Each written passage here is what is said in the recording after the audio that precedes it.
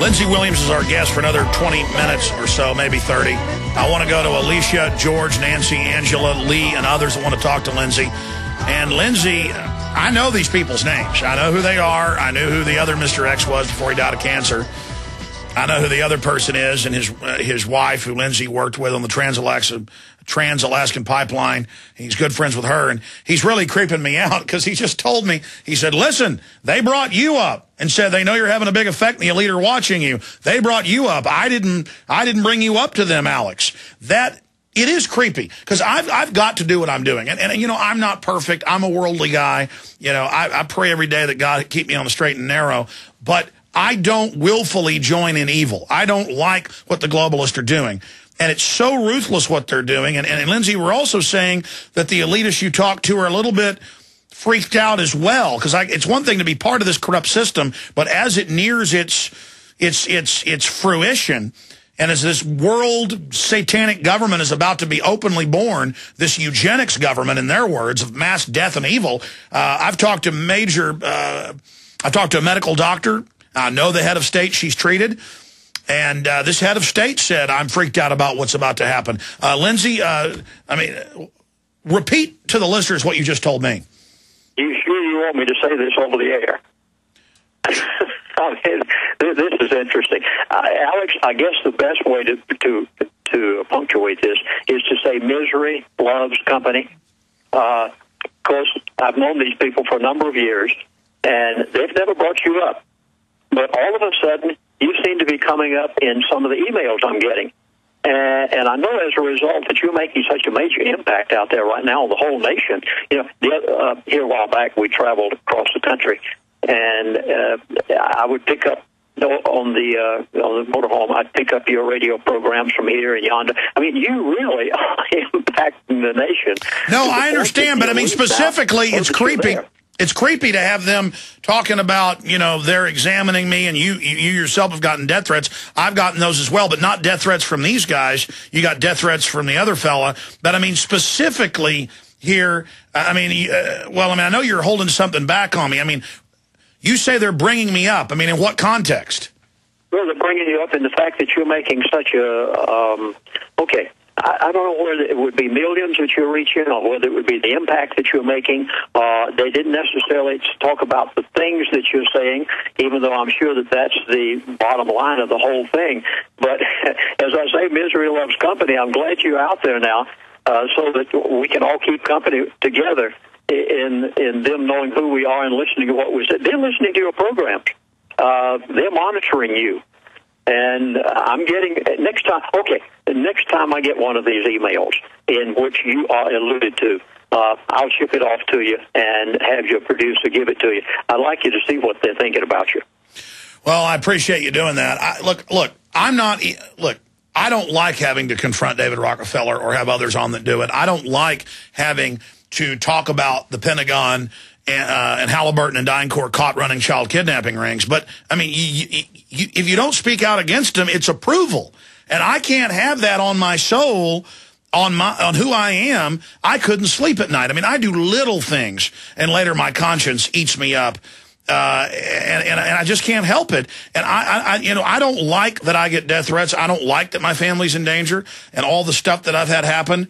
But I don't really talk about it on air. But I mean, I've, I've got to be against these people. I mean, I don't know any other way. You, it's just what they're doing is fundamentally wrong, Lindsey. Well, it sure is. And 35 years ago, when I, see, I had been a pastor of a church for 12 years. And then I went to Alaska as an aviation missionary.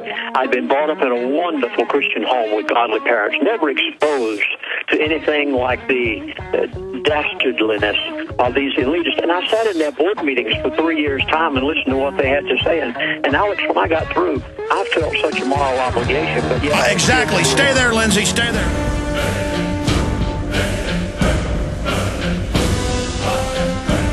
You know, you read the Bible and it talks about the spirit of certain cities, how cities had a wicked spirit or they felt bad. Uh, the, the prophets would feel oppressed upon entering them. And I remember in Sunday school not really understanding that. And I, I was just talking during the break about uh, Jaron's like, yeah, I don't like going to the zoo. It has a bad vibe.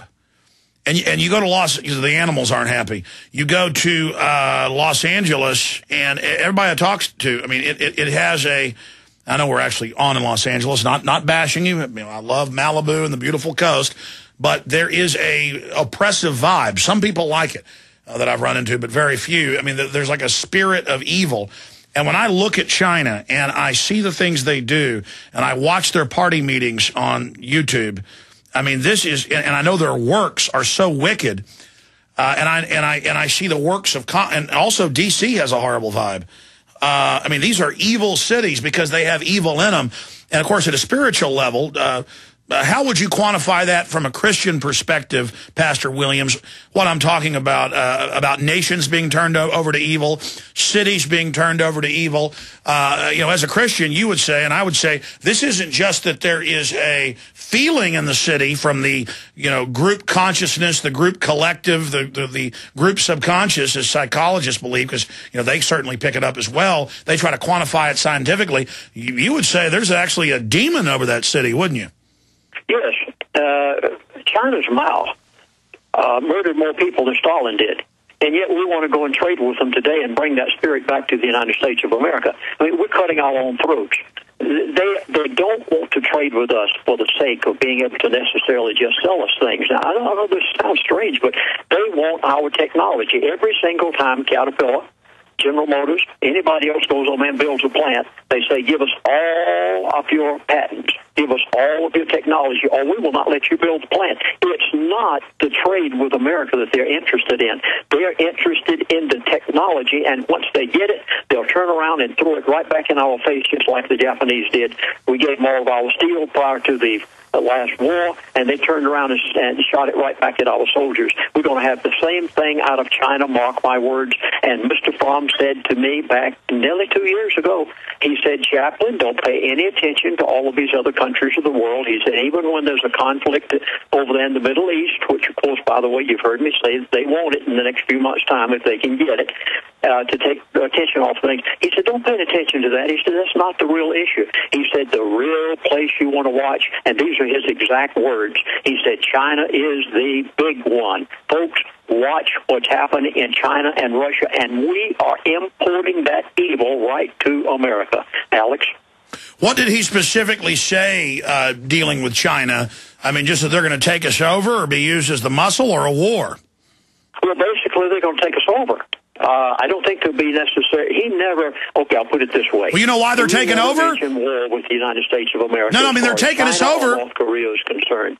He did mention the fact that they basically will take us over. They will get all of our technology. They'll get everything from Boeing.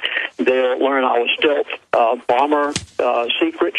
They'll learn all the things they can by getting Caterpillar and General Motors and everybody else to go over there. They'll get our computer technology. And then once they've gotten it, they'll say, to who with you, we don't need you around. After all, if Mao mur- murdered that many people years ago, more than Stalin, they wouldn't think a thing in the world about stealing all of our technology and then dropping us like a hot potato and turning those plants. I watched them nationalize things many years ago when I was pastor in Florida. I watched the Bahamas nationalize all industry. I mean, uh, Owens Corning had a huge uh, farming venture out there. It was worth billions, probably. I used to see them fly out in their 707s on a regular basis when I was out there for seminars.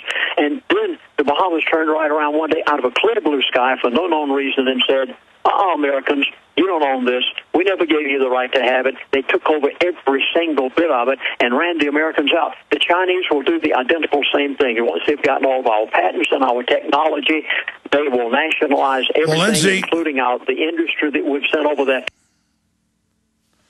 in total bankruptcy by the time they're finished. Mark my words, you cannot do business with a nation that has the background and history that this is. But there again, you've got to realize where all this started. George Bush Sr., Daddy Bush, was the ambassador to China many years ago when China was a totally closed society. Nobody got in and out except him.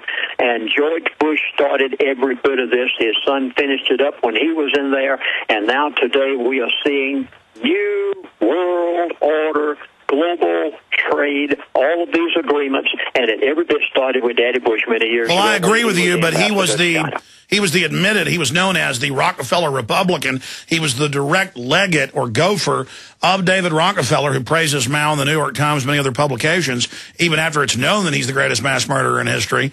And he was dispatched there. They signed the eugenics agreement for the one-child policy. They were then given unlimited funding. Uh, and the CFR said, you will now be given all the power. Uh, and uh, they they are going to use China to bring the United States down. And people are like, well, we have this big military. They can't. The criminals run America. The criminals run this country. And, and the Republicans and all of them have been bought off just like with Ron Brown was going to get in trouble, Commerce Secretary, for taking Chinese bribes, and he was going to go public, and they just you know, blew his head off on board that airplane and then remote controlled it into a mountainside. And the coroner even went public at the Air Force, and they said, we don't care. I mean, this country, and, and, and, and uh, go back to 1979 when they gave up the Panama Canal, and then Republicans went ahead with it. Why would we give them something we built? Because America isn't run by America. Okay? That's what you got to understand. I want to go to phone calls, Lindsey. We're going to go to 30 after, but I want to go to Alicia, George, Nancy, Angela Lee. I also want to tell folks uh, if they want to call and get your elite in their own words, very powerful two CD set that breaks all this down. It's 888-799-6111, 888-799-6111, or prophecyclub.com for any of my films. Uh, the Fall of the Republic that breaks all this down uh, on DVD, Infowars.com. Uh, or the Obama deception gets into the same area. Endgame covers what their endgame is after they've had the takeover, if they're successful. This isn't just going to be, you know, working for the Chinese. This is going to be, you're poor, so you, you, don't get food rations unless you're sterilized. And it's all being well, proposed. Alex, you're, you're exactly right. I want to punctuate what you said just a moment ago after I finished up with what I said about the Chinese. They have talked with me over the years about what they're going to do. Little pieces here and little pieces yonder. And the conclusion you've just come to is exactly right. Everything you just said. And in my sixth DVD set, please, I beg you to get the latest CDs, but my sixth DVD set, I go into this in detail as to what these people have told me over a two-year period. No, but, but I mean, just to condense it. Go about China is exactly right. Just to condense it, though, eugenic sterilization, China is the beta test. They submitted to the eugenics plan. The Chinese leaders for 50, 60 years talk about, please nuke us. We hate our people. I mean, they hate their population. They're at war with them. They're just big, fat, bloated ticks that just suck off their people and use them as slaves. And the globalists are using the Chinese slaves to destroy our industry. And, it, and now we're going to find out, all of you yuppies that laugh and sent me thousands of emails over the years about how great China is, enjoy it. Enjoy it. You're going to be just like the IBM uh, engineers 15 years ago that would laugh at me when I'd be at the local pool, you know, community pool. Or the or the Dell engineers, I'd say, you know, they're moving to China. You know, the plans to get rid of you. And then they'd laugh. And then years later, they go, I'm not laughing now. My replacements are here. I got six months and I'm gone at half pay. Uh, and people say, oh, that's free market. It's not free market when, when taxpayer-funded Chinese are trained in engineering at, at, our universities and then sent over there to work in slave wages. Uh, it's a giant tariff on us. Uh, uh, I'm done talking about that. Let's cram in some calls. I'm going to skip this break here. And, and then at the end, I want to get into the gold predictions from Lindsey Williams.